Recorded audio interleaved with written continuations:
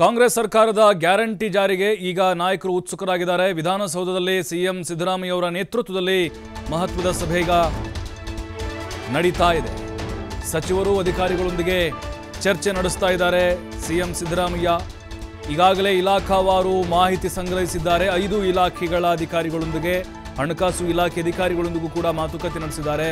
ವರದಿ ತೆಗೆದುಕೊಂಡಿದ್ದಾರೆ. ಅಂಕಿಅಂಶ ಆರ್ಥಿಕ ಸ್ಥಿತಿಗತಿಗಳು, ಲಾಭ, ನಷ್ಟ ಲಾಭ, ನಷ್ಟ ಅನ್ನೋದಕ್ಕಿಂತ ಹೊರೆ. ಬೊಕ್ಕಸಕ್ಕೆ ಎಷ್ಟು ಹೊರೆ ಆಗುತ್ತೆ ಅಂತೇಳಿ ಎಲ್ಲದರ ಬಗ್ಗೆ ಮಾಹಿತಿ ಇದೆ. ಅದನ್ನೇ ಅಂಕಿಅಂಶಗಳನ್ನ ಮುಂದಿಟ್ಟು ಸಚಿವರ ಜೊತೆ ಚರ್ಚೆ ಮಾಡ್ತಾ ಇದ್ದಾರೆ. ಅವ್ರ ಸಲಹೆಗಳು, ಅಭಿಪ್ರಾಯ ಸಂಗ್ರಹ ಮಾಡ್ತಾ ಇದ್ದಾರೆ. ಸಂಪನ್ಮೂಲ ಕ್ರೋಢೀಕರಣದ ಬಗ್ಗೆ ಸಿ ಎಂ ಸಿದ್ದರಾಮಯ್ಯ ಚರ್ಚೆ ನಡೆಸಿದ್ದಾರೆ. ಶಾಸಕ ಶಿವಲಿಂಗೇಗೌಡ ಮಾತಾಡ್ತಿದ್ದಾರೆ ನೋಡೋಣ. ಮಾದೇವಪ್ಪ? ಎಚ್ ಸಿ ಮಾದೇವಪ್ಪ ಅಂತ ಹೇಳ್ಯಾರ ಯಾರ ಮಾದೇವಪ್ಪ ಇದ್ರು? ಮಾದೇವಪ್ಪ. ಕಾಟ, ಕಾಕಾ ಸಾಹೇಬ್ ಯಾರು ನಿಮ್ಗೂ ಫ್ರೀ ಎಲ್ಲರಿಗೂ ಫ್ರೀ ಅಂದ್ರು ಆ ಫಲಾನುಭವಿ ಅವ್ರು ಯಾರು? ಹೆಂಗಾರ ಯಾರುವೆ?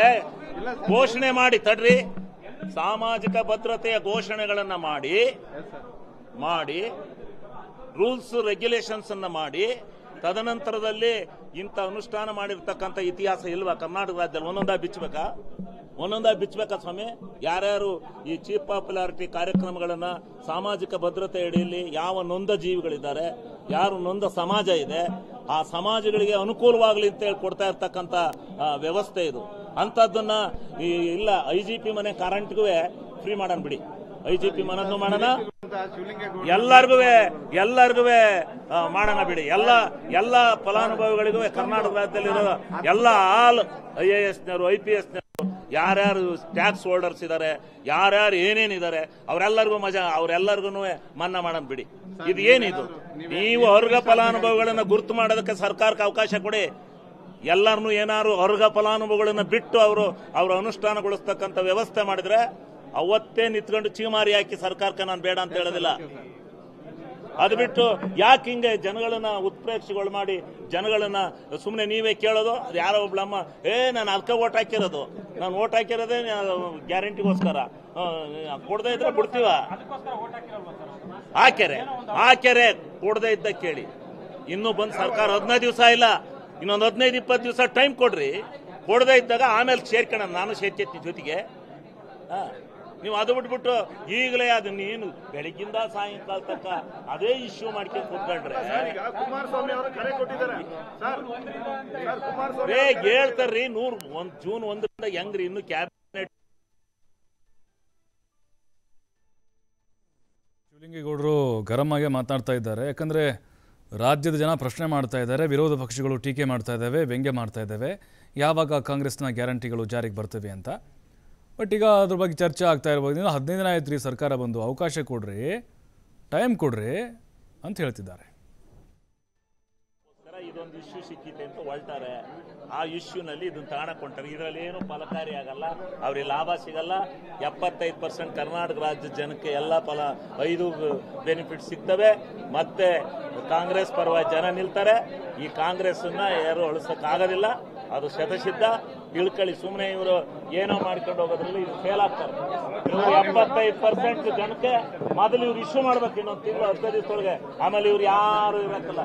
ಆಮೇಲೆ ಅವ್ರು ಏನಾರು ಐ ಎ ಎಸ್ನವರು ಐ ಪಿ ಎಸ್ನವರು ಸರ್ಕಾರಿ ನೌಕರರೆಲ್ಲ ಈ ಫೆಸಿಲಿಟೀಸ್ ಕೇಳಕ್ ಬಂದ್ರೆ, ಕೇಳಕ್ಕೆ ಬಂದ್ರೆ ಆಗ ಇವ್ರು ಇದಾರಲ್ಲ ಎಪ್ಪತ್ತೈದು ಪರ್ಸೆಂಟ್ ಕಂಡರು ಅವ್ರು ತಿರುಗಿ ಬೀಳ್ತಾರೆ ಅವ್ರ ಮೇಲೆ. ಇವ್ರಿಗೆ ಬೇಕಾ, ಇವ್ರಿಗೆ ಬೇಕಾಯ್ತ ಈ ಸವಲತ್ತು ಅಂತ ನಿಂತ್ಕೋತಾರೆ. ನೀವು ಜಿಲ್ಲಾ ಕೋಟದಲ್ಲಿ ಮಿನಿಸ್ಟರ್ ಆಗ್ಬೇಕಾಯ್ತು. ನೀವು ಜಿಲ್ಲಾ ಕೋಟದಲ್ಲಿ ಮಿನಿಸ್ಟರ್ ಆಗಿ ಆಗ್ಬೇಕಾಯ್ತು ಏನೋ ಹಣಲ್ ಬಂದಲ್ವಲ್ಲ ಸರ್? ಹೇಳಿದ್ದಾರೆ ಸರ್? ಭರವಸೆ ಹೌದ್ರಿ ಎಲ್ಲರಿಗೂ ಫ್ರೀ ಮಾದೇವಪ್ಪ ಫ್ರೀ ಅಂತ ಯಾಕೆ ಹೇಳ್ತಾರೆ? ಹೇಳೋ ಸ್ಪಿರಿಟ್ ತಗೊಳ್ಳಿ ತಗೊಳ್ಳಿ ಇದು ಇದು ಯಾರ್ಯಾರ್ದು? ಅವರ ನೋಡಿ, ಈಗ ಗ್ಯಾರಂಟಿ ಜಾರಿ ಬಗ್ಗೆ ಚರ್ಚೆ ಆಗ್ತಾ ಇದೆ, ಬಿಸಿ ಬಿಸಿ ಚರ್ಚೆ ಆಗ್ತಿದೆ. ಡಿ ಕೆ ಶಿವಕುಮಾರ್ ಅವರು ಕೂಡ ಇನ್ನೂ ಬಂದು ಜಾಯ್ನ್ ಆಗಬೇಕು. ಏನು ಪ್ಲ್ಯಾನ್ ಇದೆ ಕಾಂಗ್ರೆಸ್ನವ್ರದ್ದು ಅಂತಂದರೆ ಬೃಹತ್ ಸಮಾವೇಶವನ್ನು ಆಯೋಜಿಸಿ ಅಲ್ಲಿ ಅಧಿಕೃತವಾಗಿ ಘೋಷಣೆ ಮಾಡ್ಬೋದು. ಇಂದಿನಿಂದ ಅಥವಾ ನಾಳೆಯಿಂದ ಒಂದು ವಾರ ಬಿಟ್ಟು ಜಾರಿಗೆ ಬರ್ತಾ ಇದೆ. ಮೈಸೂರು, ತುಮಕೂರು, ದಾವಣಗೆರೆಯಲ್ಲಿ ಒಂದು ದೊಡ್ಡ ಸಮಾವೇಶ ಮಾಡೋದು. ಆ ಸಮಾವೇಶದಲ್ಲಿ ಅಧಿಕೃತವಾಗಿ ಯೋಜನೆಗಳನ್ನು ಜಾರಿ ಮಾಡ್ತಾ ಇದ್ದೇವೆ ಅಂತೇಳಿ ಘೋಷಣೆ ಮಾಡ್ಬೋದು. ಯಾಕೆಂದರೆ ನೋಡಿ, ರಾಜ್ಯದ ಜನ ಕಣ್ಣು ಬಿಟ್ಕೊಂಡು ಕಾಯ್ತಾ ಇದ್ದಾರೆ. ಈಗ ನಾಳೆ ಕ್ಯಾಬಿನೆಟ್, ಈಗ ಮತ್ತೆ ಅದು ಮುಂದೂಡಿಕೆ ಆಗ್ತಾ ಇದೆ. ಯಾವಾಗ ಜಾರಿ ಮಾಡ್ತೀರಿ? ಕರೆಂಟ್ ಬಿಲ್ ಕಟ್ಟೋಕ್ಕಾಗ್ತಿಲ್ಲ ಅಲ್ಲಿ. ಕಟ್ತಾ ಇಲ್ಲ ಲೈನ್ಮನ್ಗಳನ್ನ ಹೊಡೆದು ಕಳಿಸ್ತಾ ಇದ್ದಾರೆ. ಅದರ ಜೊತೆಗೆ ಉಚಿತ ಬಸ್ ಪಾಸ್ ಮಹಿಳೆಯರು ಕೇಳ್ತಿದ್ದಾರೆ. ಯಾವಾಗ ನಾವು ಹೋಗ್ಬೇಕು, ಓಡಾಡಬೇಕು ಫ್ರೀಯಾಗಿ ಅಂತ ಕೇಳ್ತಿದ್ದಾರೆ. ಮತ್ತಷ್ಟು ಮಾಹಿತಿ ಶಿವಕುಮಾರ್ ಕೊಡ್ತಾರೆ ನೇರ ಸಂಪರ್ಕದಲ್ಲಿ. ಶಿವಕುಮಾರ್, ಐದು ಗ್ಯಾರಂಟಿಗಳ ಬಗ್ಗೆ ಜನರ ನಿರೀಕ್ಷೆ ಬಹಳ ಇದೆ. ಜೊತೆಗೆ ತಾಳ್ಮೆಯ ಕಟ್ಟೆ ಕೂಡ ಒಂದು ರೀತಿ ಹಂತ ಹಂತವಾಗಿ ಒಡೆದು ಹೋಗ್ತಾ ಇದೆ. ಬಟ್ ಎಲ್ಲೊಂದು ಕಡೆ ಈಗ ನಡೆಯುವಂಥ ಸಭೆ ಎಷ್ಟು ಮಹತ್ವ ಪಡೆದುಕೊಂಡಿದೆ.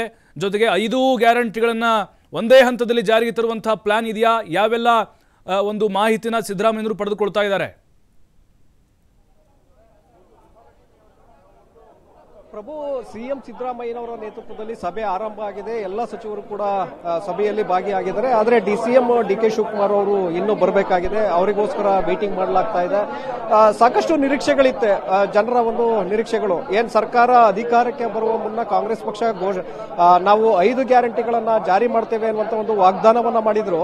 ಆ ವಾಗ್ದಾನವನ್ನ ಇವಾಗ ಈಡೇರಿಸಬೇಕಾದಂತ ಅನಿವಾರ್ಯತೆ ಇವತ್ತು ಸರ್ಕಾರಕ್ಕಿದೆ. ಸರ್ಕಾರ ಬಹುಮತದ ಸರ್ಕಾರ ಇವತ್ತು ಅಧಿಕಾರದಲ್ಲಿರೋದ್ರಿಂದ ಆ ಯೋಜನೆಗಳನ್ನ ಕಾರ್ಯಗತಗೊಳಿಸಬೇಕಾಗತ್ತೆ ಆ, ಅನುಷ್ಠಾನಕ್ಕೆ ತರಬೇಕಾಗತ್ತೆ. ಮೊದಲ ಕ್ಯಾಬಿನೆಟ್ನಲ್ಲೇ ನಾವು ಈ ಯೋಜನೆಗಳನ್ನು ಜಾರಿಗೆ ತರ್ತೇವೆ ಅಂತೇಳಿ ಅವರು ವಾಗ್ದಾನಗಳನ್ನು ಮಾಡಿದರು. ಸೊ ಹಾಗಾಗಿ ಮೊದಲ ಕ್ಯಾಬಿನೆಟ್ ಸಭೆಯಲ್ಲಿ ಒಂದು ತಾತ್ವಿಕ ಒಪ್ಪಿಗೆಯನ್ನು ಪಡ್ಕೊಳ್ಳಲಾಗಿತ್ತು. ಈಗ ಎರಡನೇ ಕ್ಯಾಬಿನೆಟ್ನಲ್ಲಿ ನಾವು ಅದನ್ನು ಜಾರಿಗೆ ತರ್ತೇವೆ ಅನ್ನುವಂಥ ಒಂದು ಮಾತನ್ನ ಹೇಳಿರೋದ್ರಿಂದ ಸೊ ಎರಡನೇ ಸಂಪುಟ ಸಭೆಯತ್ತ ಸಾಕಷ್ಟು ಕುತೂಹಲ ಕೂಡ ಉಳ್ಕೊಂಡಿದೆ. ನಾಳೆ ನಡೀಬೇಕಾಗಿದ್ದಂತ ಒಂದು ಕ್ಯಾಬಿನೆಟ್ ಸಭೆ ಈಗ ಶುಕ್ರವಾರಕ್ಕೆ ಮುಂದೂಡಿಕೆಯಾಗಿದೆ. ಶುಕ್ರವಾರ ಹನ್ನೊಂದು ಗಂಟೆಗೆ ಕ್ಯಾಬಿನೆಟ್ ಸಭೆ ನಡೆಯಲಿದೆ. ಆ ಸಭೆಯಲ್ಲಿ ಏಕೆಂದ್ರೆ ಈಗ ನಡೀತಾ ಇರುವಂತಹ ಸಚಿವರ ಸಭೆಯಲ್ಲಿ ಈಗಷ್ಟೇ ಡಿ ಕೆ ಶಿವಕುಮಾರ್ ಕೂಡ ಆಗಮಿಸಿದ್ರು. ಈ ಒಂದು ಸಭೆಯಲ್ಲಿ ಪ್ರಮುಖವಾಗಿ ಚರ್ಚೆಗಳಾಗತ್ತೆ. ಆದರೆ ಐದು ಗ್ಯಾರಂಟಿಗಳನ್ನು ನಾವು ಯಾವ ರೀತಿಯಾಗಿ ಅನುಷ್ಠಾನ ಮಾಡಬೇಕು, ಮತ್ತೆ ಅದಕ್ಕೆ ಖರ್ಚು ವೆಚ್ಚಗಳನ್ನು ಯಾವ ರೀತಿಯಾಗಿ ಸರಿದೂಗಿಸ್ಕೊಳ್ಬೇಕು, ಒಂದೊಂದು ಕಾರ್ಯಕ್ರಮಕ್ಕೆ ಎಷ್ಟು ಖರ್ಚು ಬರುತ್ತೆ, ಇದರ ಒಂದು ಸಂಪೂರ್ಣ ಮಾಹಿತಿಯನ್ನ ಕಳೆದ ಎರಡು ಮೂರು ದಿನಗಳಿಂದಲೂ ಕೂಡ ಸಿಎಂ ಅಧಿಕಾರಿಗಳ ಜೊತೆ ನಡೆಸಿದಂಥ ಸಭೆಯಲ್ಲಿ ಪಡ್ಕೊಂಡಿದ್ದಾರೆ. ಹಾಗೆ ಇಲಾಖಾವಾರು ಸಚಿವರು ಕೂಡ ಸಭೆಯನ್ನು ನಡೆಸಿದ್ರು. ಆ ಸಭೆಯಲ್ಲೂ ಕೂಡ ಮಾಹಿತಿಗಳನ್ನು ಸಂಗ್ರಹ ಮಾಡಲಾಗಿದೆ. ಈ ಒಂದು ಮಾಹಿತಿಗಳನ್ನು ಇಟ್ಕೊಂಡು ಈಗ ಸಭೆಯಲ್ಲಿ ಚರ್ಚೆಗಳಾಗ್ತಾ ಇದೆ. ಸಭೆಯ ಒಂದು ಒಪ್ಪಿಗೆಯನ್ನು ಪಡ್ಕೊಳ್ಬೇಕಾಗತ್ತೆ. ಒಪ್ಪಿಗೆಯನ್ನು ಪಡೆದ ನಂತರ ಕ್ಯಾಬಿನೆಟ್ ಸಭೆಯಲ್ಲಿ ಮತ್ತೊಮ್ಮೆ ಅದನ್ನು ಪ್ರಸ್ತಾಪ ಮಾಡಿ ಅಂತಿಮವಾಗಿ ಒಂದು ನಿರ್ಧಾರವನ್ನು ತೆಗೆದುಕೊಳ್ಬೇಕಾಗತ್ತೆ. ಸೊ, ಹಾಗಾಗಿ ಶುಕ್ರವಾರ ಸಂಪುಟ ಸಭೆಯನ್ನು ಕರೆಯಲಾಗಿದೆ. ಈಗಷ್ಟೇ ನಾವು ಗಮನಿಸ್ತಾ ಇರ್ಬೋದು, ಡಿ ಕೆ ಶಿವಕುಮಾರ್ ಅವರು ಕೂಡ ಈಗ ಸಭೆಗೆ ಆಗಮಿಸಿದ್ರು. ಪ್ರಭು, ಈ ಕಾರ್ಯಕ್ರಮಗಳನ್ನ ಅನುಷ್ಠಾನಕ್ಕೆ ತರಬೇಕಾದಂತ ಅನಿವಾರ್ಯತೆ ಯಾಕೆಂದ್ರೆ ಸರ್ಕಾರಕ್ಕೆ ಇವತ್ತು ರಾಜ್ಯದ ಜನ ಬಹುಮತವನ್ನ ಕೊಟ್ಟಿದ್ದಾರೆ. ಅದನ್ನ, ಆ ವಿಶ್ವಾಸವನ್ನು ಉಳಿಸ್ಕೊಳ್ಬೇಕು ಅಂದ್ರೆ ಈ ಕಾರ್ಯಕ್ರಮಗಳನ್ನ ಅನುಷ್ಠಾನ ಮಾಡಬೇಕಾಗತ್ತೆ. ಆದ್ರೆ ಅಷ್ಟು ಸುಲಭ ಇಲ್ಲ ಕಾರ್ಯಕ್ರಮಗಳನ್ನ ಅನುಷ್ಠಾನ ಮಾಡೋದಕ್ಕೆ. ಯಾಕೆಂದ್ರೆ ನಮ್ಮ ರಾಜ್ಯದ ಬಜೆಟ್ ಗಾತ್ರವೇ ಮೂರು ಪಾಯಿಂಟ್ ಒಂಬತ್ತು ಲಕ್ಷ ಕೋಟಿ ರೂಪಾಯಿ. ಅದರಲ್ಲಿ ಇದಕ್ಕೆ ಸುಮಾರು ಒಂದು ಲಕ್ಷದ ಐದು ಸಾವಿರ ಕೋಟಿ ರೂಪಾಯಿಗಳು ಈ ಒಂದು ಕಾರ್ಯಕ್ರಮಗಳ ಅನುಷ್ಠಾನಕ್ಕೆ ಬೇಕಾಗುತ್ತೆ ಅನ್ನುವಂಥ ಒಂದು ಅಂದಾಜುಗಳಿದೆ. ಅಂದರೆ ಒಂದೊಂದು ಕಾರ್ಯಕ್ರಮಗಳಿಗೂ ಕೂಡ ನೀವು ಈಗ ಅಕ್ಕಿ ಹತ್ತು ಕೆಜಿ ಅಕ್ಕಿಯನ್ನು ಈಗ ಕೊಡ್ತೇವೆ ಅಂತೇಳಿ ಘೋಷಣೆಯನ್ನು ಮಾಡಿದಿರಿ ಮೊದಲಿಗೆ ಸಾವಿರದ ಐವತ್ತು ಕೋಟಿ ರೂಪಾಯಿಗಳು ಒಂದು ವಾರ್ಷಿಕವಾಗಿ ಆ ಐದು ಕೆಜಿ ಅಕ್ಕಿಯನ್ನು ಕೊಡೋದಕ್ಕೆ ಖರ್ಚಾಗ್ತಾ ಇತ್ತು. ಅಂದರೆ ಹತ್ತು ಕೆಜಿಯನ್ನ ಕೊಡ್ತೀರಿ ಅಂದರೆ ಈಗ ಅದರ ಡಬಲ್ ಹಣವನ್ನು ನಾವು ಇಲ್ಲಿ ಅಂದ ಅಧಿಕಾರಿಗಳು ಲೆಕ್ಕಾಚಾರವನ್ನು ಹಾಕಿದ್ರೆ ಎರಡು ಸಾವಿರದ ನೂರ ಅರವತ್ತು ಕೋಟಿ ರೂಪಾಯಿಗಳು ಹತ್ತು ಕೆ ಜಿ ಅಕ್ಕಿಯನ್ನು ಕೊಟ್ಟರೆ ಅದು ಬಿ ಪಿ ಎಲ್ ಕಾರ್ಡ್ ಏನಿರುತ್ತೆ ಅಂಥವ್ರಿಗೆ ಮಾತ್ರ ಇದು ಈ ಯೋಜನೆ. ಸೊ ಆಗ ಎರಡು ಸಾವಿರದ ನೂರ ಅರವತ್ತು ಕೋಟಿ ರೂಪಾಯಿ ಅದಕ್ಕೆ ಖರ್ಚು ಬರುತ್ತೆ ಅನ್ನುವಂಥದ್ದು. ಮತ್ತೆ ವಾರ್ಷಿಕವಾಗಿ ನಿರುದ್ಯೋಗಿಗಳಿಗೆ ಮೂರು ಸಾವಿರ ರೂಪಾಯಿ ಹಣವನ್ನ ಕೊಡ್ತೇವೆ ಅನ್ನುವಂತ ಒಂದು ಘೋಷಣೆಯನ್ನ ಮಾಡಲಾಗಿತ್ತು. ಅದಕ್ಕೆ ಪ್ರತಿ ವರ್ಷ ಸುಮಾರು ಹತ್ತು ಲಕ್ಷ ವಿದ್ಯಾರ್ಥಿಗಳು ಔಟ್ಪುಟ್ ಆಗ್ತಾರೆ. ಅಂದ್ರೆ ಕಾಲೇಜುಗಳಿಂದ ಹೊರಬೀಳ್ತಾರೆ ಕಾಲೇಜು ವಿದ್ಯಾರ್ಥಿಗಳು. ಅವ್ರಿಗೆ ನೀವು ಮೂರು ಸಾವಿರ ರೂಪಾಯಿ ಕೊಡ್ತೀವಿ ಅಂದ್ರೆ ಸುಮಾರು ಎರಡು ಸಾವಿರದ ನಾನ್ನೂರು ಕೋಟಿ ರೂಪಾಯಿಗಳು ಅದಕ್ಕೆ ಅಂದಾಜು ಖರ್ಚು ಬರುತ್ತೆ ಅನ್ನುವಂತ ಒಂದು ಲೆಕ್ಕ ಕೂಡ ಈಗ ಸಿಕ್ಕಿದೆ. ಹಾಗೆ ಡಿಪ್ಲೊಮಾ ಪದವೀಧರರಿಗೆ ಒಂದೂವರೆ ಸಾವಿರ ಅವರ ಅಕೌಂಟ್ಗೆ ಹಾಕ್ತೇವೆ ಅನ್ನುವಂತ ಒಂದು ಘೋಷಣೆಯನ್ನ ಮಾಡಲಾಗಿತ್ತು. ಅದಕ್ಕೆ ಸುಮಾರು ಐದರಿಂದ ಆರು ಲಕ್ಷ ವಿದ್ಯಾರ್ಥಿಗಳು ಪ್ರತಿ ವರ್ಷ ಅವರು ಹೊರಗಡೆ ಬರ್ತಾರೆ. ಆದರೆ ತಮ್ಮ ಪದವಿಯನ್ನು ಮುಗಿಸಿ ಕಾಲೇಜು ವ್ಯಾಸಂಗವನ್ನು ಮುಗಿಸಿ ಅವರು ಹೊರಗಡೆ ಬರ್ತಾರೆ. ಅವರಿಗೆ ಸುಮಾರು ಒಂಬೈನೂರು ಕೋಟಿ ರೂಪಾಯಿಗಳು ಅದಕ್ಕೆ ಖರ್ಚು ವೆಚ್ಚಗಳು ಬರುತ್ತೆ ಅನ್ನುವಂಥ ಒಂದು ಮಾಹಿತಿಗಳನ್ನು ಕೂಡ ಈಗ ಸಿಎಂ ಅವರಿಗೆ ಕೊಡಲಾಗಿದೆ. ತದನಂತರ ಯೂನಿಟ್ ಇನ್ನೂರು ಯೂನಿಟ್ ವಿದ್ಯುತ್ತನ್ನು ನಾವು ಕೊಡ್ತೇವೆ ಅನ್ನುವಂಥ ಒಂದು ಘೋಷಣೆಯನ್ನ ಮಾಡಿದ್ರು. ಇದು ಸಾಕಷ್ಟು ಖರ್ಚು ಬರುವಂತ ಒಂದು ಯೋಜನೆ. ಯಾಕೆಂದರೆ ರಾಜ್ಯದಲ್ಲಿ ಸುಮಾರು ಏಳು ಕೋಟಿ ಜನರಿರೋದ್ರಿಂದ ನಿಮಗೆ ಮೂರು ಕೋಟಿ ಕುಟುಂಬಗಳು ಬರುತ್ತೆ. ಅಂದ್ರೆ ಒಂದೊಂದು ಕುಟುಂಬಗಳಲ್ಲಿ ಇಬ್ಬರು ಮೂರು ಜನ, ಒಂದೊಂದು ಕುಟುಂಬಗಳಲ್ಲಿ ಐದಾರು ಜನ, ಈ ರೀತಿಯಾಗಿ ಕುಟುಂಬಗಳನ್ನ ಲೆಕ್ಕಕ್ಕೆ ತೆಗೆದುಕೊಂಡಾಗ ಸುಮಾರು ಮೂರು ಕೋಟಿ ಕುಟುಂಬಗಳು ಬರಬಹುದು. ಅದಕ್ಕೆ ನೀವು ವಾರ್ಷಿಕವಾಗಿ ಸುಮಾರು ಐವತ್ಮೂರು ಸಾವಿರ ಕೋಟಿ ಈ ಕಾರ್ಯಕ್ರಮಗಳಿಗೆ ಖರ್ಚು ಬರುತ್ತೆ ಅನ್ನುವಂಥದ್ದು ಒಂದು ಅಂದಾಜನ್ನ ಕೊಡಲಾಗಿದೆ. ಸೊ ಹಾಗಾಗಿ ಈ ಐದು ಕಾರ್ಯಕ್ರಮಗಳನ್ನ, ಉಚಿತ ಪ್ರಯಾಣ ಇರ್ಬೋದು, ಬಸ್ ಪ್ರಯಾಣ, ಹಾಗೆ ಇನ್ನು ಎರಡು ಸಾವಿರ ರೂಪಾಯಿ ಮಹಿಳೆಯರ ಅಕೌಂಟ್ಗೆ ಹಾಕುವಂತ ಕಾರ್ಯಕ್ರಮ, ನಿರುದ್ಯೋಗಿಗಳಿಗೆ ಮೂರು ಸಾವಿರ, ಡಿಪ್ಲೊಮಾ ಪದವೀಧರರಿಗೆ ಒಂದೂವರೆ ಸಾವಿರ ಹಣವನ್ನ ಹಾಕುವಂತ ಕಾರ್ಯಕ್ರಮ, ಹಾಗೆ ಹತ್ತು ಕೆ ಜಿ ಹಕ್ಕಿಯನ್ನ ಕೊಡುವಂತ ಕಾರ್ಯಕ್ರಮ. ಇದೆಲ್ಲದಕ್ಕೂ ಕೂಡ ಎರಡು ಸಾವಿರ, ಎರಡು ಸಾವಿರದ ಇನ್ನೂರು, ಎರಡು ಸಾವಿರದ ನಾನ್ನೂರು, ಎರಡು ಸಾವಿರದ ಎಂಟುನೂರು ಕೋಟಿ ರೂಪಾಯಿಗಳು, ಹಾಗೆ ನಾಲ್ಕು ಸಾವಿರದ ಇನ್ನೂರು ಕೋಟಿ ರೂಪಾಯಿಗಳ ಜೊತೆಗೆ ಐವತ್ಮೂರು ಸಾವಿರ ಕೋಟಿ ರೂಪಾಯಿಗಳು ಇದಕ್ಕೆ ಖರ್ಚು ಬರುತ್ತೆ ಅನ್ನುವಂಥದ್ದು ಒಂದೊಂದು ಕಾರ್ಯಕ್ರಮಗಳಿಗೂ ಕೂಡ. ಸೊ ಅದನ್ನು ಕೂಡ ಅಂದಾಜನ್ನ, ಖರ್ಚು ವೆಚ್ಚಗಳನ್ನ ಸರಿದೂಗಿಸ್ಕೊಳ್ಬೇಕಾಗತ್ತೆ ಪ್ರಭು. ಆ ಖರ್ಚು ವೆಚ್ಚಗಳನ್ನ ಸರಿದೂಗಿಸ್ಕೊಂಡೆ ನಾವು ಈ ಒಂದು ಕಾರ್ಯಕ್ರಮಗಳನ್ನು ಅನುಷ್ಠಾನ ಮಾಡಬೇಕಾಗತ್ತೆ. ಹಾಗಾಗಿ ಆರ್ಥಿಕ ಪರಿಸ್ಥಿತಿ ಈಗ ಎಷ್ಟಿದೆ ಅಂದ್ರೆ ನಾವು ಖರ್ಚು ಮಾಡೋದಕ್ಕೆ ಇಲ್ಲಿ ಹಣ ಇದೆಯಾ ಹೇಗೆ ಅನ್ನುವಂತಹ ಒಂದು ಲೆಕ್ಕಾಚಾರಗಳನ್ನು ಕೂಡ ಹಾಕಬೇಕಾಗತ್ತೆ. ಮತ್ತೆ ಇಲಾಖಾವಾರು ಅನುದಾನಗಳನ್ನು ಏನ್ ಕೊಡಲಾಗಿರುತ್ತೆ ಅದನ್ನು ಕೂಡ ಸ್ವಲ್ಪ ಮಟ್ಟಿಗೆ ಕಡಿತವನ್ನ ಮಾಡಬೇಕಾಗತ್ತೆ. ಇಲಾಖೆಗೆ ಕೊಟ್ಟಿರುವಂತಹ ಅನುದಾನವನ್ನ ಕಡಿತ ಮಾಡಿ ಇದಕ್ಕೆ ಸರಿದೂಗಿಸ್ಕೊಳ್ಬೇಕಾಗತ್ತೆ. ಹಾಗಾಗಿ ಇವತ್ತಿನ ಸಭೆಯಲ್ಲಿ ಇದರ ಬಗ್ಗೆ ಪ್ರಮುಖವಾಗಿ ಚರ್ಚೆಗಳಾಗುವಂತದ್ದು ಪ್ರಭು ಶಿವಕುಮಾರ್, ಈಗ ಕಂಡೀಷನ್ಸ್ಗಳ ಬಗ್ಗೆ ಬಹಳ ಗೊಂದಲ ಇದೆ. ಈಗ ಅತ್ತೆಗೆ ಎರಡು ಸಾವಿರ ರೂಪಾಯಿ ಸೊಸೆ ಅಂದರೆ ಸೊಸೆ ಇಲ್ಲ, ಅದರ ಜೊತೆಗೆ ಈಗ ಎಲ್ಲ ಮಹಿಳೆಯರಿಗೂ ಉಚಿತ ಬಸ್ ಪಾಸು ಮತ್ತು ಕಿಲೋಮೀಟರ್ ಲಿಮಿಟ್ ಇಲ್ಲ. ಇದು ಇದು ಸ್ವಲ್ಪ ಗೊಂದಲ ಇದೆ A P L B P L ಅಂತೇಳಿ ಅದ್ರ ಬಗ್ಗೆ ಕ್ಲಾರಿಟಿ ಸಿಗ್ಬೋದು ಹಾಗಾದರೆ? ಪ್ರಭು, ಇವತ್ತಿನ ಸಭೆಯಲ್ಲಿ ಈ ವಿಚಾರಗಳ ಬಗ್ಗೆನೇ ಚರ್ಚೆ ಆಗತ್ತೆ. ಯಾಕೆಂದ್ರೆ ಯಾರಿಗೆ ಇದನ್ನ ಕೊಡಬೇಕು, ಯಾವ ಫಲಾನುಭವಿಗಳಿಗೆ ಕೊಡಬೇಕು, ಮತ್ತೆ ಯಾಕೆಂದ್ರೆ ಎಲ್ರಿಗೂ ಕೊಡೋದಕ್ಕೆ ಇಲ್ಲಿ ಕಷ್ಟ ಆಗತ್ತೆ. ಅಂದ್ರೆ ಆರ್ಥಿಕ ಸಂಪನ್ಮೂಲ ಏನಿರುತ್ತೆ? ಪ್ರಸ್ತುತ ಬಜೆಟ್ಗೆ ಅನುದಾನವನ್ನ ಏನು ಮಿಸ್ಲೀಡ್ ಆಗಿರುತ್ತೆ? ಎಲ್ಲದಕ್ಕೂ ಕೂಡ ಈ ಐದು ಕಾರ್ಯಕ್ರಮಗಳಿಗೆ ಅನುದಾನವನ್ನ, ಹಣವನ್ನು ಹಂಚಿಕೆ ಮಾಡಿದ್ದೆ ಆದರೆ ಹಾಗೆ ಉಳಿದಿರುವಂತಹ ಅನುದಾನ ಏನಿರುತ್ತೆ, ನೀವು ಸರ್ಕಾರಿ ನೌಕರರ ಸಂಬಳವನ್ನ ಕೊಡಬೇಕಾಗತ್ತೆ. ಸುಮಾರು ಒಂದೂವರೆ ಲಕ್ಷ ಕೋಟಿ ಸರ್ಕಾರಿ ನೌಕರರ ವೇತನಕ್ಕಾಗಿ ಹಣವನ್ನ ಇಡಬೇಕಾಗತ್ತೆ. ನೀವು ಇರುವಂತಹ ಮೂರು ಪಾಯಿಂಟ್ ಒಂಬತ್ತು ಲಕ್ಷ ಕೋಟಿ ಏನಿರುತ್ತೆ, ಅದರಲ್ಲಿ ಇಲ್ಲಿ ಒಂದು ಲಕ್ಷ ಕೋಟಿ, ಅಲ್ಲಿ ಒಂದೂವರೆ ಲಕ್ಷ ಕೋಟಿ ಹಣವನ್ನ ಖರ್ಚು ಮಾಡಿದ್ದೆ ಆದರೆ ವೇತನ ಮತ್ತೆ ಈ ಐದು ಕಾರ್ಯಕ್ರಮಗಳಿಗೆ ಉಳಿಯುವಂತಹ ಐದು ಸಾವಿರ ಐವತ್ತು ಸಾವಿರ ಕೋಟಿ ಏನಿರುತ್ತೆ, ಅದರಲ್ಲಿ ಬೇರೆ ಬೇರೆ ಅಭಿವೃದ್ಧಿ ಕೆಲಸಗಳನ್ನು ಮಾಡಬೇಕಾಗತ್ತೆ, ಮೂಲಭೂತ ಸೌಕರ್ಯಗಳನ್ನು ಕಲ್ಪಿಸಬೇಕಾಗತ್ತೆ, ಜೊತೆಗೆ ನೀರಾವರಿ ಯೋಜನೆಗಳಿಗೆ ನೀವು ಸಾವಿರಾರು ಕೋಟಿ ರೂಪಾಯಿಗಳನ್ನು ಮೀಸಲಿಡಬೇಕಾಗತ್ತೆ. ಸೊ ಹಾಗಾಗಿ ಐವತ್ತು ಸಾವಿರ ಕೋಟಿಯಲ್ಲಿ ಗ್ರಾಮೀಣಾಭಿವೃದ್ಧಿ ಇರ್ಬೋದು, ಗ್ರಾಮೀಣ ಮೂಲಸೌಕರ್ಯಗಳು ರಸ್ತೆ, ಚರಂಡಿ ವಿದ್ಯುತ್ತು ಇದನ್ನು ಕೊಡೋದಕ್ಕೆ ಮತ್ತೊಂದು ಕಡೆ ಇರಿಗೇಷನ್ನು ನೀರಾವರಿ ವ್ಯವಸ್ಥೆಯನ್ನು ಕಲ್ಪಿಸೋದಕ್ಕೆ ಸಾವಿರಾರು ಕೋಟಿ ರೂಪಾಯಿಗಳನ್ನು ಇಡಬೇಕಾಗತ್ತೆ. ಹಾಗಾಗಿ ಉಳಿದಿರುವಂತಹ ಐವತ್ತು ಸಾವಿರ ಕೋಟಿಯಲ್ಲಿ ಈ ಯೋಜನೆಗಳಿಗೆ ಹಣವನ್ನು ಇಡೋದಕ್ಕೆ ಕಷ್ಟ ಆಗತ್ತೆ. ಆ ನಿಟ್ಟಿನಲ್ಲಿ ಈಗ ಸಂಪನ್ಮೂಲಗಳನ್ನು ಎಲ್ಲಿ ನಾವು ಕ್ರೋಢೀಕರಣ ಮಾಡ್ಕೊಳ್ಬೇಕು, ಯಾಕೆಂದ್ರೆ ತೆರಿಗೆಯನ್ನ ಯಾವುದರ ಮೇಲೆ ಹಾಕಬೇಕು, ಅಬಕಾರಿ ತೆರಿಗೆ ಎಷ್ಟನ್ನು ಹಾಕಬೇಕು, ಸ್ಟಾಂಪ್ ಡ್ಯೂಟಿ ಮೇಲೆ ತೆರಿಗೆಯನ್ನ ಎಷ್ಟು ವಿಧಿಸಬಹುದು ಸೊ ಈ ಒಂದು ಲೆಕ್ಕಾಚಾರಗಳನ್ನು ಕೂಡ ಹಾಕಿ ನಂತರ ಅಂತಿಮವಾಗಿ ಈ ಯೋಜನೆಗಳನ್ನು ಅನುಷ್ಠಾನಕ್ಕೆ ತರಬೇಕಾಗತ್ತೆ. ಯೋಜನೆಗಳನ್ನ, ಕಾರ್ಯಕ್ರಮಗಳನ್ನ ಅನುಷ್ಠಾನಕ್ಕೆ ತರದೆ ಹೋದ್ರೆ ಅದು ಮುಂದೆ ಬರುವಂತಹ ಚುನಾವಣೆಗಳ ಮೇಲೂ ಕೂಡ ಅದ್ರ ಎಫೆಕ್ಟ್ ಆಗುತ್ತೆ. ಯಾಕೆಂದ್ರೆ ಹಿನ್ನಡೆ ಆಗತ್ತೆ ನೀವು. ಕಾರ್ಯಕ್ರಮಗಳನ್ನ ಕೊಡ್ತಾರೆ ಅನ್ನುವಂಥ ಕಾರಣಕ್ಕೆ ಇವತ್ತು ರಾಜ್ಯದ ಜನ ಬಹುಮತದ ಸರ್ಕಾರ ಬರೋದಕ್ಕೆ ಅವಕಾಶವನ್ನು ಮಾಡಿಕೊಟ್ಟಿದ್ದಾರೆ. ನೀವು ಕಾರ್ಯಕ್ರಮಗಳನ್ನ ಅನುಷ್ಠಾನಕ್ಕೆ ತರದೆ ಹೋದ್ರೆ ಆಗ ಜನರ ಒಂದು ವಿಶ್ವಾಸವನ್ನ ಕಳ್ಕೊಳ್ಬೇಕಾಗತ್ತೆ. ಮುಂದೆ ಬರುವಂತಹ ಬಿಬಿಎಂಪಿ ಚುನಾವಣೆಗಳಿರ್ಬೋದು, ತಾಲೂಕ್ ಪಂಚಾಯತ್, ಜಿಲ್ಲಾ ಪಂಚಾಯತ್ ಚುನಾವಣೆಗಳಿರ್ಬೋದು, ಹಾಗೆ ಲೋಕಸಭಾ ಚುನಾವಣೆ ಇರ್ಬೋದು. ಇದರ ಮೇಲೆ ಅದರ ಎಫೆಕ್ಟ್ ಆಗತ್ತೆ, ಆಗ ಹಿನ್ನಡೆಯನ್ನು ಕಾಣಬೇಕಾಗತ್ತೆ. ಸೊ ಹಾಗಾಗಿ ಕಾಂಗ್ರೆಸ್ ನಾಯಕರ ಲೆಕ್ಕಾಚಾರ, ನಾವು ಈ ಯೋಜನೆಗಳನ್ನು, ಭರವಸೆಗಳನ್ನು ಕೊಟ್ಟಿದ್ದೇವೆ. ನಾವು ಇದನ್ನ ಚಾಚು ತಪ್ಪದೆ ಪಾಲಿಸಬೇಕು, ಆ ಕಾರ್ಯಕ್ರಮಗಳನ್ನು ತರಲೇಬೇಕು ಅನ್ನುವಂಥ ಒಂದು ನಿರ್ಧಾರವನ್ನು ಮಾಡಿದ್ದಾರೆ. ಹಾಗಾಗಿ ಇವತ್ತು ಮತ್ತೆ ಶುಕ್ರವಾರದ ಕ್ಯಾಬಿನೆಟ್ ಸಭೆಯಲ್ಲಿ ಇದು ಅಂತಿಮವಾಗುತ್ತೆ. ಒಂದು ಬೃಹತ್ ಕಾರ್ಯಕ್ರಮದ ಮೂಲಕ ಈ ಯೋಜನೆಗಳನ್ನು ನಾವು ಜಾರಿಗೆ ತರಬೇಕು ಅನ್ನುವಂಥ ಒಂದು ಲೆಕ್ಕಾಚಾರಗಳು ಕೂಡ ಇದೆ ಪ್ರಭು. ಸೊ ಹಾಗಾಗಿ ಇವತ್ತು ಈ ಅಂಕಿ ಸಂಖ್ಯೆ, ಲೆಕ್ಕಾಚಾರದ ಬಗ್ಗೆ ಇವತ್ತು ಚರ್ಚೆಗಳಾಗತ್ತೆ ಬಹುತೇಕವಾಗಿ. Thank you thank you Shivakumar. ಮಾಹಿತಿಗಾಗಿ ಸಭೆ ಶುರುವಾಗಿದೆ. ಈಗ ಮಾಹಿತಿ ಕಲೆ ಹಾಕ್ತಿದ್ದಾರೆ. ಅಭಿಪ್ರಾಯ ಸಂಗ್ರಹ ಆಗ್ತಾ ಇದೆ. ಖರ್ಚು ವೆಚ್ಚಗಳು, ಸಾಧಕ ಬಾಧಕಗಳು, ರೂಪುರೇಷೆಗಳು, ಆಮೇಲೆ ಕಂಡೀಷನ್ಸ್ಗಳು ಬಹಳ ಮುಖ್ಯ. ಇಲ್ಲಿ ಎಲ್ಲರೂ ಕೇಳ್ತಾ ಇದ್ದಾರೆ. ಎ ಪಿ ಎಲ್ ಕಾರ್ಡ್ ಇರೋರಿಗೆ ಬಸ್ ಪಾಸ್ ಸಿಗಲ್ವಾ? ಎರಡು ಸಾವಿರ ರೂಪಾಯಿ ಹಾಕಲ್ವಾ? Only B P L card ಇದ್ದರಷ್ಟೇ vote ಮಾಡಿದ್ದಾರೆ ಕಾಂಗ್ರೆಸ್ಗೆ? ನಾವು ಮಾಡಿದ್ದೀವಿ ಅಂತ ಕೇಳ್ತಾ ಇದ್ದಾರೆ. ಹಾಗಾಗಿ ಎಲ್ಲ ಗೊಂದಲಗಳಿಗೆ ಫುಲ್ ಸ್ಟಾಪ್ ಇಡಬೇಕಾಗಿದೆ. ನಾಳಿನ ಸಚಿವ ಸಂಪುಟ ಸಭೆಯನ್ನ ಮುಂದೂಡಿಕೆ ಮಾಡಲಾಗಿದೆ. ನಾಳೆ ಬದಲು ಶುಕ್ರವಾರದಂದು ಕ್ಯಾಬಿನೆಟ್ ಮೀಟಿಂಗ್ ನಿಗದಿ ಮಾಡಲಾಗಿದೆ. ನಾಳೆ ಇತ್ತು. ಜೂನ್ ಒಂದು ನಾಳೆ. ಬಟ್ ಈಗ ಶುಕ್ರವಾರಕ್ಕೆ ಮುಂದೂಡಿಕೆ ಮಾಡಲಾಗ್ತಾ ಇದೆ. ಕಾರಣ, ಬಟ್ ಇನ್ನೂ ಇವತ್ತು ಸುದೀರ್ಘವಾಗಿ ಚರ್ಚೆ ಆಗಬೇಕು. ಇವತ್ತಿನ ಚರ್ಚೆ ಮೇಲೆ ನಾಳೆ ಏಕಾಏಕಿ ನಿರ್ಧಾರ ಮಾಡೋಕ್ಕಾಗೋದಿಲ್ಲ. ಸ್ವಲ್ಪ ಟೈಮ್ ಅಂತೂ ಖಂಡಿತವಾಗಿ ಹಿಡಿಯುತ್ತೆ. ಶುಕ್ರವಾರ ಬೆಳಗ್ಗೆ ಹನ್ನೊಂದು ಗಂಟೆಗೆ ಸಭೆಯನ್ನು ನಡೆಸಲಾಗುತ್ತೆ. ಸಿ ಎಂ ಸಿದ್ದರಾಮಯ್ಯವರ ನೇತೃತ್ವದಲ್ಲಿ ಈ ಕ್ಯಾಬಿನೆಟ್ ಮೀಟಿಂಗ್ ನಡೆಯುತ್ತೆ. ನಾಳೆ ಆಗಬೇಕಾಗಿತ್ತು. ಯಾಕೆಂದರೆ ಹೇಳಿದ್ರು ಎಲ್ಲರೂ ಹೇಳ್ತಾ ಇದ್ದರು ಜೂನ್ ಒಂದಕ್ಕೆ ಕ್ಯಾಬಿನೆಟ್ನಲ್ಲಿ ನಾವು ಅದಕ್ಕೆ ಅನುಷ್ಠಾನವನ್ನು ತರ್ತೀವಿ, ಜಾರಿ ಮಾಡ್ತೀವಿ, ಘೋಷಣೆ ಮಾಡ್ತೀವಿ ಅಂತ.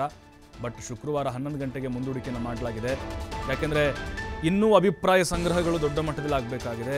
ವರದಿ ತರಿಸ್ಕೊಳ್ಬೇಕಾಗಿದೆ. ಅಧಿಕಾರಿಗಳು ಕೊಟ್ಟಿದ್ದಾರೆ ಅಂಕಿ ಸಂಖ್ಯೆಗಳು. ಬಟ್ ಅದು ಒಂದೇ ದಿನಕ್ಕೆ ನಿರ್ಧಾರ ಮಾಡೋದಲ್ಲ. ಐದು ಗ್ಯಾರಂಟಿ ಇದೆ. ಸಾವಿರಾರು ಕೋಟಿ ಲೆಕ್ಕಾಚಾರ ಹಾಕಬೇಕು. ಅಳೆದು ತೂಗಿ ಜಾರಿಗೆ ತರಬೇಕು. ಲಾಭ, ನಷ್ಟ ನೋಡ್ಬೇಕು. ಮುಂದಿನ ಭವಿಷ್ಯದ ಕೂಡ ಅಲ್ಲಿ ಗಮನ ಇಟ್ಕೊಳ್ಬೇಕು. ಹಾಗಾಗಿನೇ ಇದು ಒಂದೇ ದಿನದಲ್ಲಿ ಚರ್ಚೆ ಆಗೋ ಮಾತಲ್ಲ. ಈಗಾಗಲೇ ಇಲಾಖಾವಾರು ಅಧಿಕಾರಿಗಳೊಂದಿಗೂ ಕೂಡ ಸಿದ್ದರಾಮಯ್ಯನವರು ಸಭೆ ಮಾಡಿದ್ದಾರೆ. ಹಣಕಾಸು ಇಲಾಖೆಯವರಿಂದಿಗೂ ಕೂಡ ಅಂಕಿ ಸಂಖ್ಯೆಗಳ ಮಾಹಿತಿ ತೆಗೆದುಕೊಂಡಿದ್ದಾರೆ. ಇವತ್ತೇನು ಸಚಿವರ ಸಭೆ ನಡೆಸ್ತಾ ಇದ್ದಾರೆ? ಇವತ್ತು ಸಭೆ ಆಯಿತು ಅಂತಂದರೆ ಮುಂದೇನು? ನಾಳೆ ಘೋಷಣೆ ಮಾಡೋಕ್ಕಾಗತ್ತಾ? ಸ್ವಲ್ಪ ಟೈಮ್ ಹಿಡಿಯುತ್ತೆ. ಹಾಗಾಗಿ ನಾಳೆ ಒಂದಿನ ಗ್ಯಾಪಲ್ಲಿ ಮತ್ತಷ್ಟು ಮಾಹಿತಿನ ಕಲೆ ಹಾಕುವಂತಹ ಪ್ರಯತ್ನ ಕೂಡ ಮುಖ್ಯಮಂತ್ರಿಗಳಿಂದ ಆಗುತ್ತೆ. ಅಂದರೆ ಒಟ್ಟಾರೆ ರಾಜ್ಯದ ಜನರ ಭರವಸೆ ಏನಿದೆ, ಆ ಭರವಸೆಯನ್ನು ಮಾತಿಗೆ ತಕ್ಕಾಗೆ ಸಿದ್ದರಾಮಯ್ಯನವರು ಉಳಿಸಿಕೊಳ್ತಾರೆ ಅನ್ನುವಂಥ ನಿರೀಕ್ಷೆ ಜನರಲ್ಲೂ ಕೂಡ ಇದೆ. ಸ್ವಲ್ಪ ವಿಳಂಬ ಆಗ್ಬೋದು, ಹಾಗೇ ಆಗುತ್ತೆ. ಯಾಕಂದರೆ ಅಷ್ಟು ಸುಲಭ ಇಲ್ಲ. ಎಲ್ಲ ಫ್ರೀ ಗ್ಯಾರಂಟಿಗಳನ್ನು ಜಾರಿಗೆ ತರೋದು ಅಷ್ಟು ಸುಲಭ ಇಲ್ಲ. ಈಗ ರಾಜ್ಯದ ಆರ್ಥಿಕತೆ ಎಲ್ಲ ನೋಡ್ಕೊಳ್ಬೇಕಾಗತ್ತಲ್ವಾ? ಹಾಗಾಗಿ ಯಾರು ಫಲಾನುಭವಿಗಳು ಈ ಯೋಜನೆಯನ್ನು ಎಲ್ಲಿವರೆಗೂ ಜಾರಿಗೆ ತರಬೇಕು? ಹಂತ, ಮೊದಲ ಹಂತದಲ್ಲಿ ಎಲ್ಲ ಆಗಬೇಕಾ? ಇದೆಲ್ಲವೂ ಕೂಡ ಸುದೀರ್ಘವಾಗಿ ಚರ್ಚೆ ಮಾಡುವಂಥದ್ದು. ಒಂದಿನ ಚರ್ಚೆ ಮಾಡಿ, ಆಮೇಲೆ ಘೋಷಣೆ ಮಾಡೋದಲ್ಲ ಇದು. ಸಿದ್ದರಾಮಯ್ಯನವರು ಕೂಡ ಆ ವಿಚಾರದಲ್ಲಿ ಬಹಳ ಎಚ್ಚರಿಕೆಯನ್ನು ವಹಿಸ್ತಾ ಇದ್ದಾರೆ. ಬಹಳ ಜಾಗೃತಿಯಿಂದ ಈ ಕಾರ್ಯಕ್ರಮಗಳನ್ನು ಅನುಷ್ಠಾನಕ್ಕೆ ತರುವಂತಹ ಪ್ಲಾನನ್ನು ಮಾಡಿಕೊಂಡಿದ್ದಾರೆ. ಜನರ ನಿರೀಕ್ಷೆ ಹುಸಿಯಾಗಬಾರ್ದು ಅನ್ನುವಂಥ ಚಿಂತನೆ ಕೂಡ ಕಾಂಗ್ರೆಸ್ ಸರ್ಕಾರಕ್ಕಿದೆ. ಆ ಗ್ಯಾರಂಟಿ ಮೇಲೆ ಈಗ ಕಾಂಗ್ರೆಸ್ ಸರ್ಕಾರಕ್ಕೆ ಅಭೂತಪೂರ್ವದಂತಹ ಬೆಂಬಲ ಸಿಕ್ಕಿದೆ. ಈ ಸಭೆಯ ನಂತರ ಅಭಿಪ್ರಾಯ ಏನು ಕ್ರೋಢೀಕರಣ ಆಗಿರುತ್ತೆ? ಅದಾದ ಮೇಲೆ ನಾಡಿದ್ದು ಕ್ಯಾಬಿನೆಟ್ ಮೀಟಿಂಗ್ನಲ್ಲಿ ಅಂತಿಮ ಘೋಷಣೆಯ ಬಗ್ಗೆ ನಿರ್ಧಾರ ಮಾಡ್ತಾರೆ. ಈಗೇನೊಂದು ಕಾರ್ಯಕ್ರಮಗಳನ್ನ ಹಾಕ್ಕೊಂಡಿದ್ದಾರೆ ಒಂದು ಮೂರು ಜಿಲ್ಲೆಗಳಲ್ಲಿ ಕಾರ್ಯಕ್ರಮ ಹಾಕ್ಕೊಂಡು ಅಲ್ಲಿ ಏಕಕಾಲಕ್ಕೆ ಚಾಲನೆಯನ್ನು ಕೊಡೋದು, ಫಲಾನುಭವಿಗಳನ್ನು ಕರೆಸಿ ಅಲ್ಲಿ ಹಂಚಿಕೆ ಮಾಡುವಂಥ, ವಿತರಣೆ ಮಾಡುವಂಥ ಪ್ಲ್ಯಾನನ್ನು ಕಾಂಗ್ರೆಸ್ ಸರ್ಕಾರ ಮಾಡಿಕೊಂಡಿದೆ. ಯಾಕಂದರೆ ಮುಂದಿನ ಚುನಾವಣೆ ಹಿತದೃಷ್ಟಿಯಲ್ಲಿ ಇಟ್ಕೊಂಡು ಕೂಡ ಸ್ಥಳೀಯ ಮತ್ತು ಲೋಕಸಭಾ ಚುನಾವಣೆ ಮೇಲೂ ಕೂಡ ಈ ಗ್ಯಾರಂಟಿಗಳ ಒಂದು ಎಫೆಕ್ಟ್ ಆಗಬೇಕು ಅಂತೇಳಿ ಕಾಂಗ್ರೆಸ್ ಪರವಾದಂಥ ಅಲ್ಲೇ ಮತ್ತೆ ಹೇಳಬೇಕು ಅಂತೇಳಿ. ಬಟ್ ಸಿದ್ದರಾಮಯ್ಯನವರು ಕೂಡ ಈಗಾಗಲೇ ಮ್ಯಾರಥಾನ್ ಸಭೆಗಳ ಮೇಲೆ ಸಭೆಗಳನ್ನು ನಡೆಸ್ತಾನೆ ಇದ್ದಾರೆ. ಬಟ್ ಒಂದು ಗೊಂದಲಗಳಿದ್ದಾವೆ ಇನ್ನೂ ಕೂಡ. ಎಲ್ಲ ಗೊಂದಲಗಳು ಬಗೆಹರಿದಿದೆ ಅಂತ ಅನ್ಕೋಬಾರ್ದು ನಾವು. ಜೊತೆಗೆ ಕೆಲವೊಂದಿಷ್ಟು ಅಭಿಪ್ರಾಯಗಳು ಹೇಗಿದ್ದಾವೆ ಅಂತ ಹೇಳಿದ್ರೆ, ಇನ್ನೂ ಐದು ಯೋಜನೆಗಳನ್ನು ಏಕಕಾಲಕ್ಕೆ ಜಾರಿಗೆ ತರೋಕ್ಕೆ ಆಗ್ತಾ ಇಲ್ಲ, ಸಾಧ್ಯ ಆಗಲ್ಲ ಅಂತ ಹೇಳ್ತಿದ್ದಾರೆ. ಹಾಗಾಗಿನೇ ಒಟ್ಟಿಗೆ ಒಂದು ಒಂದು ಹಂತ ಹಂತವಾಗಿ ಇದನ್ನು ಜಾರಿಗೆ ತರುವಂಥ ಪ್ಲಾನನ್ನು ಕಾಂಗ್ರೆಸ್ ಸರ್ಕಾರ ಮಾಡಿಕೊಂಡಿದೆಯಾ? ಬಟ್ ಈಗ ಸಂಪನ್ಮೂಲ ಕ್ರೋಢೀಕರಣ ತೆರಿಗೆ ವಿಚಾರದಲ್ಲಿ ಈಗೇನು ಜುಲೈನಲ್ಲಿ ಮತ್ತೆ ಬಜೆಟ್ ಇರುತ್ತೆ. ಆ ಬಜೆಟ್ನಲ್ಲಿ ಈಗ ತೆರಿಗೆ ಸಂಗ್ರಹದ ಬಗ್ಗೆ ಸಹಜವಾಗಿ ಅನೌನ್ಸ್ ಆಗುತ್ತೆ ಅಲ್ಲಿ ಬಜೆಟ್ನಲ್ಲಿ. ಯಾವ್ಯಾವ ತೆರಿಗೆನ ಹೆಚ್ಚಳ ಮಾಡಬೇಕು, ಇದನ್ನು ಹೇಗೆ ಕ್ರೋಢೀಕರಣ ಮಾಡಬೇಕು ಅಂತ. ಮತ್ತು ರೇಟ್ಗಳೇನಾದರೂ ಜಾಸ್ತಿ ಆಗ್ಬೋದಾ? ಈಗ ಸಂಪನ್ಮೂಲ ಕ್ರೋಢೀಕರಣ ಅಂದರೆ ಹಾಗೆ. ಈಗ ರೇಟ್ಗಳು ಜಾಸ್ತಿ ಕಡಿಮೆ ಆಗ್ತಾ ಇರುತ್ತೆ, ಅಲ್ಲಿ ಕಲೆಕ್ಟ್ ಮಾಡಬೇಕಾಗತ್ತೆ. ಒಂದು ಹೆಚ್ಚಿಗೆ ಮಾಡಿದರೆ ಒಂದು ಕಡಿಮೆ ಮಾಡಲೇಬೇಕು. ಈಗ ಫ್ರೀ ಘೋಷಣೆಗಳನ್ನು ಮಾಡಿದ ಮೇಲೆ ಈ ರಾಜ್ಯದ ತೆರಿಗೆಗಳನ್ನು ಕೂಡ ಜಾಸ್ತಿ ಮಾಡಬೇಕಾದಂಥ ಒಂದು ಅನಿ, ಅನಿವಾರ್ಯತೆ ಎದುರಾಗ್ಬೋದು.